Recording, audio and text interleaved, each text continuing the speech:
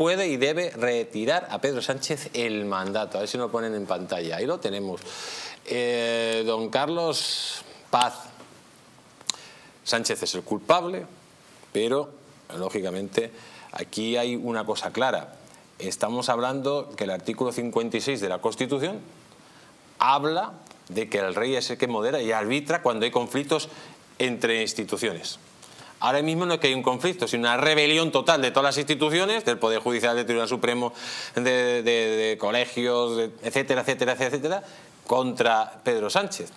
Y luego, además, hay una cosa muy importante, que Pedro Sánchez y, el señor Puigdemont han pactado que eh, dos instituciones del Estado, que es eh, el Estado español, o sea, la Administración Central del Estado y la Comunidad Autónoma de Cataluña, negocien junto a cuatro relatores internacionales pues lo que pasa aquí en España. Cuando eso es una función, según el artículo 56 de Su Majestad del Rey, que tiene que hacer el arbitrio y la moderación de esos temas.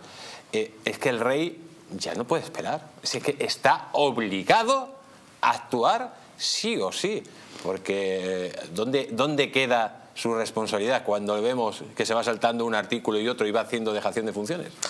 Aquí estuvimos eh, hablando acerca de eso, de las atribuciones, de las herramientas jurídico-políticas que tiene, con las que cuenta el rey para eh, actuar frente a todo lo que está sucediendo, pero eh, luego está la realidad.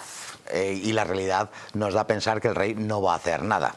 Eh, fíjate con toda la que está cayendo, todo lo que todas las instituciones y organismos que están manifestando eh, su malestar, sindicatos policiales, la ciudadanía, no olvidemos. Europa. hasta se hasta Borrell. Europa, en la que no tengo tampoco ni gran fe, pero se ha manifestado al respecto y el rey está enteramente ausente. Mm, yo no sé, quizá, quizá como nos queremos agarrar a cualquier clavo ardiendo, queremos y deseamos que el rey o lo que sea, frene esta sin razón. Pero yo creo que volcar nuestra confianza, nuestra fe, nuestra esperanza en, eh, en el rey, yo creo que va a ser en vano.